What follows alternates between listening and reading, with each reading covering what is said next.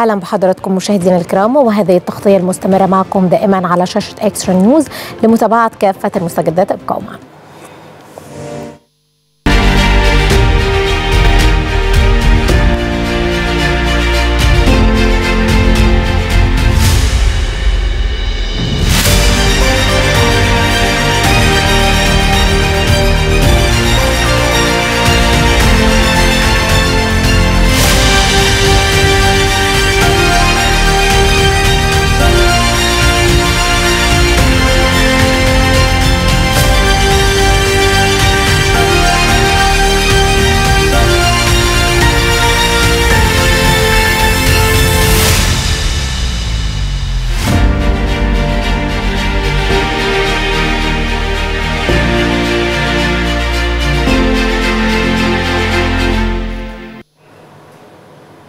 في إطار سعي التحالف الوطني للعمل الأهلي التنموي للتدخل المباشر لدعم الأسر الأولى بالرعاية. وصل عدد المستفيدين على مستوى الجمهورية لأكثر من 19 مليون مستفيد.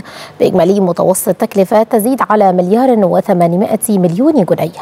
وتتنوع المساعدات المقدمة للمستفيدين ما بين كراتين رمضانية ووجبات ساخنة وتوزيع لحوم وكروت مساعدات بالإضافة لتوزيع الملابس وإعانات الذكاء وموائد الرحمن ومعارض السلع الغذائية المخفضة بالإضافة للقوافل الطبية المجانية متعددة التخصصات. وكذلك الفعاليات الترفيهية المستمرة طوال الشهر الكريم. يأتي ذلك تنفيذا لتوجيهات الرئيس عبد الفتاح السيسي لدعم الأسر الأولى بالرعاية والأكثر استحقاقا.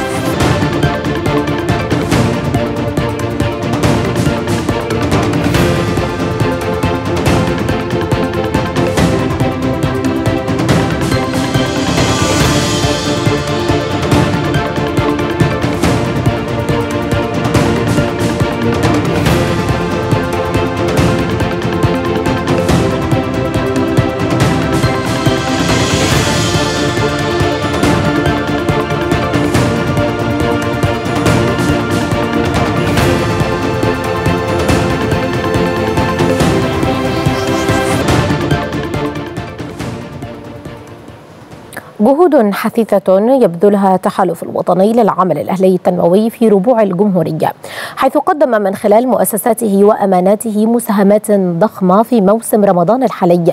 المزيد عن تلك الجهود يستعرضه لنا الزميل كريم الخولي نتابع أهلا بحضراتكم. استمرارا لجهود التحالف الوطني للعمل الأهلي التنموي وسعيه دائما للتدخل المباشر والسريع في جميع أنحاء الجمهورية بصورة كاملة. قدم التحالف مساهمات من خلال مؤسسات وأمانات المحافظات في الموسم الرمضاني الحالي وذلك تنفيذا لتوجيهات الرئيس عبد الفتاح السيسي لدعم الأسر الأولى بالرعاية والأكثر استحقاقا. ونجح التحالف الوطني في تنفيذ مساهمات بإجمالي متوسط تكلفة بلغت مليارا وثمانمائة وخمسة ملايين جنيه لإجمالي عدد مستفيدين على مستوى الجمهورية بلغ 19 مليونا وثمانمائة وواحد وأربعين ألف شخص. وتضمنت توزيعات المؤسسات مليونا وسبعمائة واثنين وخمسين ألف كرتونة غذائية رمضانية بالإضافة إلى توزيع اللحوم بإجمالي 1236 طن لحوم لنحو مليون وثلاثمائة وخمسة وستين ألف مستفيد. بجانب توزيع وجبات ساخنة بإجمالي عشرة ملايين وثمانمائة وثلاثة عشر ألف وجبة. فضلا عن توزيع كروت وكوبونات مساعدات لنحو 203 آلاف مستفيد بتكلفة بلغت 81 مليونا و200 ألف جنيه. توزيعات المؤسسة تضمنت ستة آلاف قطعة ملابس لثلاثة آلاف مستفيد بتكلفة بلغت مليونين ومائة ألف جنيه وحصول مائة وثمانية وسبعين ألف ومائة وعشرين مستفيد. على إعانات بإجمالي متوسط تكلفة بلغت خمسة وثلاثين مليونا وستمائة وأربعة وعشرين ألف جنيه. فضلا عن استمرار القوافل الطبية طوال شهر رمضان والإعداد لإقامة بعض الفعاليات والمسابقات الرمضانية. وفي الوقت نفسه قامت الأمانات بعدد من التوزيعات والتي تضمنت 72600 كرتونة رمضانية و106900 وجبة ساخنة فطار وسحور بتكلفة بلغت 10 ملايين و690 ألف جنيه بجانب إقامة 13 منفذا لبيع السلع المخفضة وإقامة موائد رحمن في العديد من المحافظات مع توزيع 2000 قطعة ملابس ل 1500 مستفيد فضلا عن التبرع بثلاثة أجهزة طبية وتوزيع هدايا للأطفال بمختلف المحافظات. مشاهدينا الكرام كان هذا عرضا حول أبرز جهود التحالف الوطني خلال شهر رمضان لدعم الأسر الأولى بالرعاية والأكثر استحقاقا. شكرا لكم على طيب المتابعة. هاتفيا مشاهدينا الكرام للمزيد ينضم إلينا الأستاذ عصام عبد الرحمن عضو التحالف الوطني للعمل الأهلي التنموي. أنا برحب بحضرتك في هذه التغطية أستاذ عصام وكل سنة وحضرتك طيب. كل سنة وحضرتك بألف خير وكل السادة المشاهدين وكل المصريين بألف خير يا رب. وكل يا- أمهاتنا وكل السيدات المصريات بألف خير. بالتأكيد كل عام وكل أم مصرية بخير. يعني آه، لو بنتحدث عن جهود التحالف الوطني للعمل الأهلي التنموي الحقيقة أنه دايما بيبهرنا في كل الأوقات وفي كل المحن والأزمات. ولكن شهر رمضان أو الأعياد بيعتبر من المواسم للتحالف الوطني للعمل الأهلي التنموي بيكثف مجهوداته وشغله على الأرض. إيه أبرز المبادرات اللي عملتوها في رمضان السنة دي؟ آه خليني أبدأ مع حضرتك إنه ده رمضان الثالث اللي آه بيهل على الشعب المصري وعلى الأمة الإسلامية والتحالف الوطني بي بي بيشتغل في دعم الأسر الأولى بالرعاية. إحنا آه الحقيقة منحنى أو أو يعني معدل دعم التحالف للأسر الأولى بالرعاية صاعد بشكل يعني يكاد يكون يعني متوالية آه، هندسية مش متوالية حسابية. آه، بمعنى إن إحنا الجهود بتتضاعف آه، سنة بعد سنة. بدأنا في آه، 22 ب يعني مبادرات طموحة لدعم أكثر من آه، 20 مليون مواطن مصري. السنة اللي فاتت اشتغلنا في 23 اشتغلنا على آه، مبادرة عظيمة أطلقها السيد الرئيس وهي مبادرة كتف بكتف آه، يعني آه، شملت أعداد كبيرة من المصريين في كل أنحاء مصر. السنة دي في مضاعفة للخدمات بشكل نوعي والحقيقة الخدمات السنة دي امتازت بالمضاعفة كما وجودة. بمعنى إن إحنا الأعداد المستفيدين السنة دي أكبر التنوع في شكل الدعم بحيث نلبي كافة الاحتياجات. كمان الحقيقة السنة دي راعينا إنه في متغير حادث السنة دي وهو يعني ما يحدث لأهالينا في قطاع غزة. صحيح. فمستمرين في دعم أهالينا في قطاع غزة ترجمة لتوجيهات السيد الرئيس وترجمة لدعم الدولة المصرية للأشقاء دائما. في نفس الوقت بنتحرك بخطى ثابتة ومعدلات زيادة في دعم الأسر الأولى بالرعاية في كل أنحاء الجمهورية. الحقيقة يعني توازن من الصعب ولكن من المبهر إنه يحققوا التحالف الوطني للعمل الأهلي التنموي ودعم أهالينا في غزة واستمرار المساعدات وأيضا دعم إخواتنا المصريين أو المواطنين المصريين المستهدفين بالنسبة للتحالف. كلمني يا أستاذ عصام عن مائدة الرحمن الرمضانية المفروض تستهدف 35 ألف صائم على مدار شهر رمضان الكريم. موائد الرحمن وموائد الإفطار في كل أنحاء الجمهورية هدف من أهداف التحالف لتلبية الاحتياجات الغذائية للأسر الأولى بالرعاية. شكل رمضاني اعتدنا عليه في نوع من الألفة والمحبة وال يعني الود ما بين كل المصريين. التحالف حريص إنه يكون موجود دايما في موائد منتشرة على مستوى الجمهورية وكمان توزيع وجبات سخينة وسحور. إن شاء الله بإذن الله إن إحنا يعني يبقى في يعني المائدة اللي بيتم التخطيط ليها إنها توصل رسائل بوحدة الشعب المصري و بدعم كافة مكونات الدولة المصرية للمواطن الأولى بالرعاية والفكرة بالنسبة لنا كمان الحقيقة. يعني رسالة لشبابنا المتطوع اللي بيشارك بيشارك رسالة ليه ومنه الحقيقة رسالة ليه بأهمية التطوع ورسالة منه لكافة الشعب المصري إن الشباب المصري قادر يساعد وقادر يعني ينقل خطوة مع الأسر الأولى بالرعاية. الحقيقة كمان إحنا حريصين إنه يعني ما يقدم في الوجبات يكون ما يقدم ما تحتويه السفرة للأسرة المتوسطة بجودة عالية جدا في كل المكونات. وحريصين إن إحنا ما نقدمه على مدار الشهر الكريم يكمل سلسلة الدعم والحماية الاجتماعية اللي بتقوم بيها الدولة المصرية لكل الشرائح الأولى بالرعاية.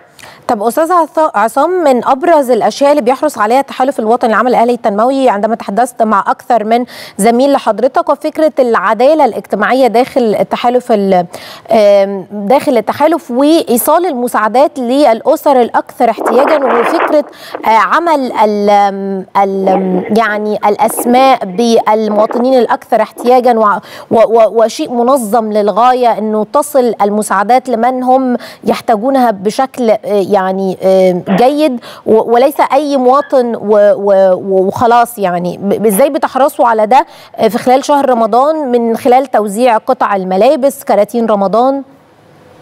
طيب خليني أقول لحضرتك إنه من بين التحديات اللي كانت بتواجه المجتمع المدني المصري آه يعني ازدواجية المعايير أو يعني ازدواجية التوزيع أحيانا بيبقى ذات أو يعني مؤسسين وأكثر من مؤسسين بيستهدفوا أشخاص بعينهم بخدمات آه متشابهة. آه التحالف اشتغل منذ بداية إطلاقه على توحيد قاعدة بيانات وبناء قاعدة بيانات مرنة وقوية وحساسة. ل يعني مكونات الأسرة وطبيعة النشاط ومكان تواجدها.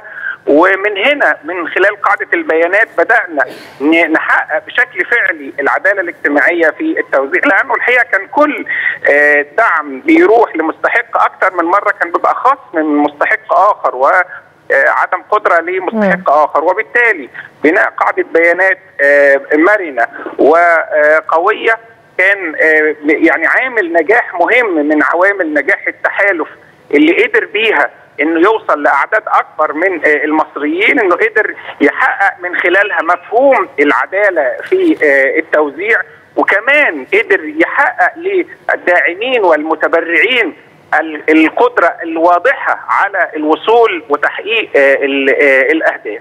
واعتقد انه ان شاء الله في التخطيط لما هو قادم بالنسبة للتحالف هتكون الجهود أكثر تاثيرا لأنه قاعدة البيانات بتتسم بالمرونة الكبيرة بمعنى إنه يوميا ومن خلال فرق العمل الموجودة على الأرض يتم إدخال الأسر اللي بي بي بي بي يعني بتجبرها ظروف استثنائية على يعني الوجود في دوائر الاحتياج والعوز.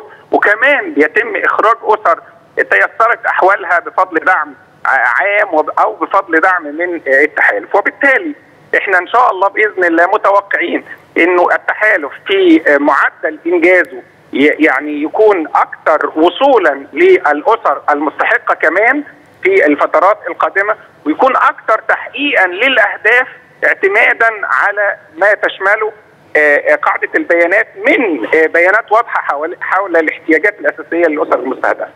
بالتأكيد الأستاذ عصام عبد الرحمن عضو التحالف الوطني للعمل الأهلي التنموي بشكر حضرتك شكرا جزيلا يا فندم على هذه على هذا الانضمام وهذه الإضافات.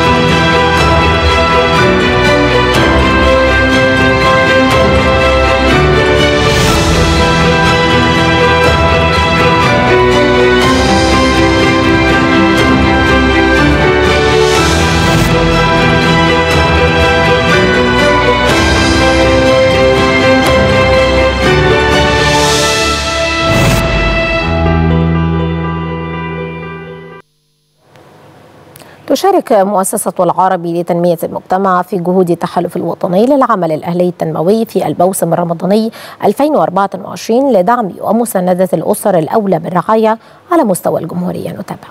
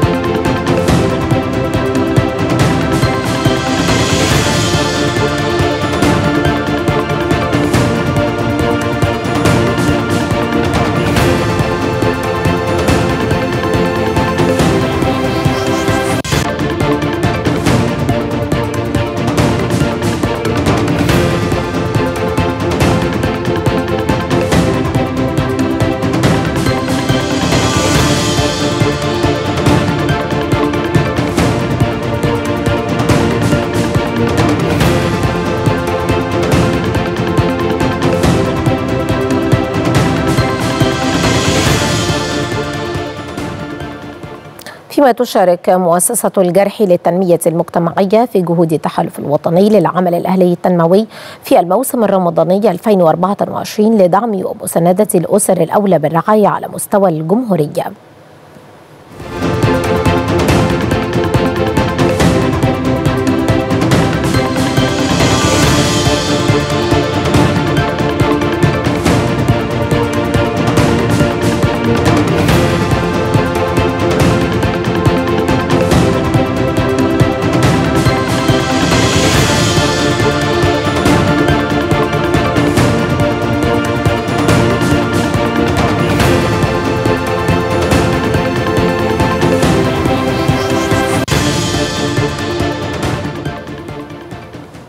تشارك مؤسسة أبو هشيم الخير في جهود التحالف الوطني للعمل الأهلي التنموي في الموسم الرمضاني 2024 وذلك لدعم ومساندة الأسر الأولى بالرعاية على مستوى الجمهورية نتابع.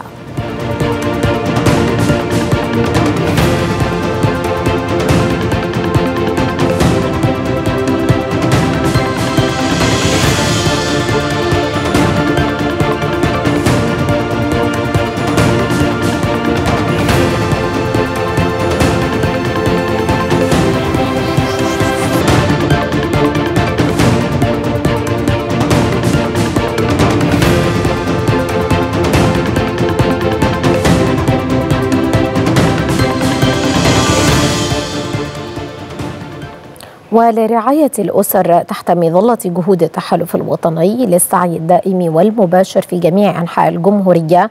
سعت مؤسسة نبيل الكاتب الخيرية لتوفير وجبات ساخنة وملابس خلال الشهر الفضيل.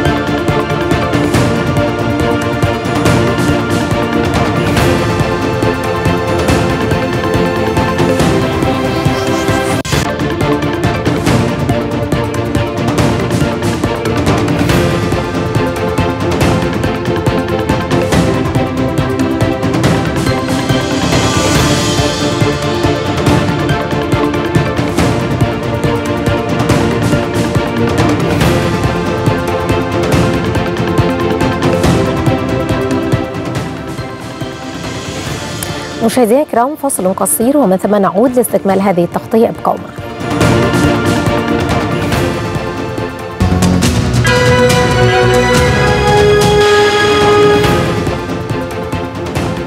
تشارك مؤسسة راعي مصر للتنمية في جهود التحالف الوطني للعمل الأهلي التنموي في الموسم الرمضاني 2024 وذلك لدعم مساندة الأسر الأولى بالرعاية على مستوى الجمهورية نتابع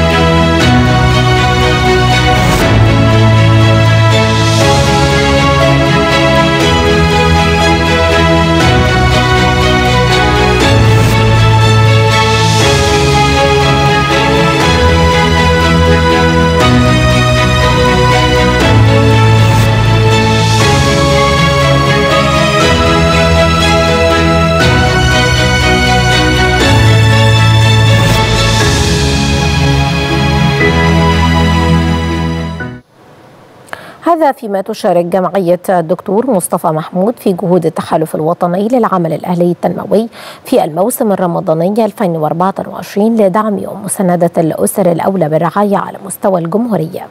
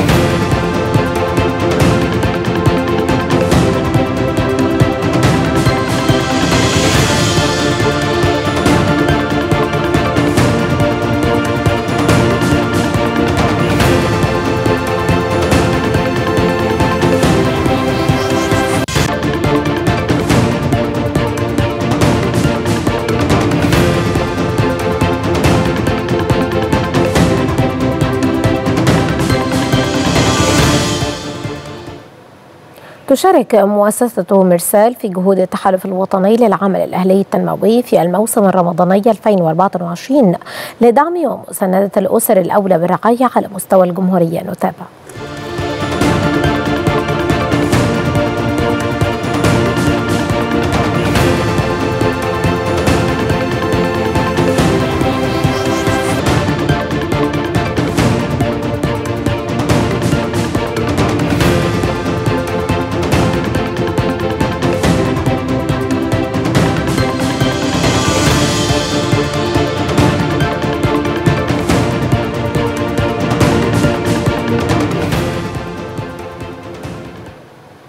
هذا وتشارك مؤسسة الجود الخيرية في جهود التحالف الوطني للعمل الأهلي التنموي في الموسم الرمضاني 2024 لدعم ومساندة الأسر الأولى بالرعاية على مستوى الجمهورية.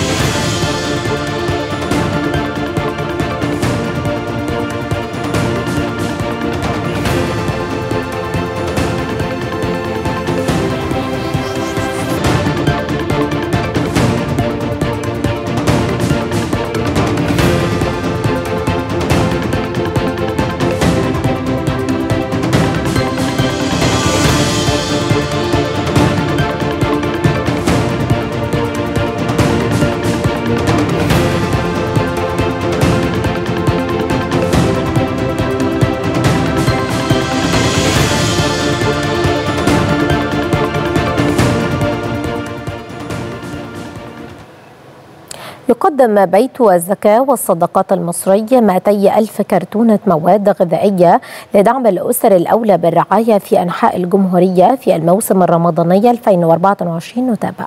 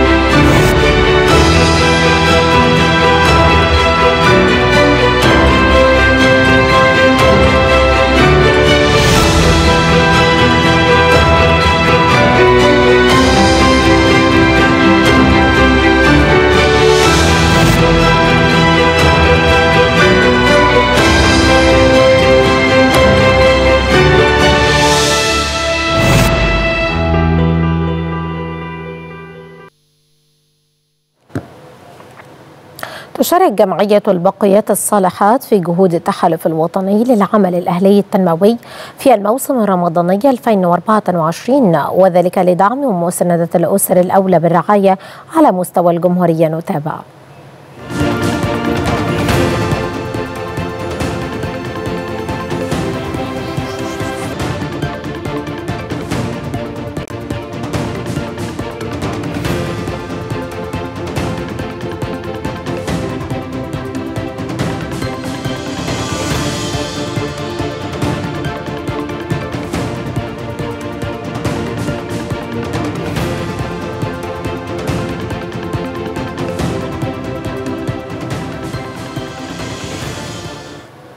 هذا فيما تشارك الهيئة القبطية الإنجيلية للخدمات الاجتماعية في جهود التحالف الوطني للعمل الأهلي التنموي في الموسم الرمضاني 2024 لدعم ومساندة الأسر الأولى بالرعاية على مستوى الجمهورية.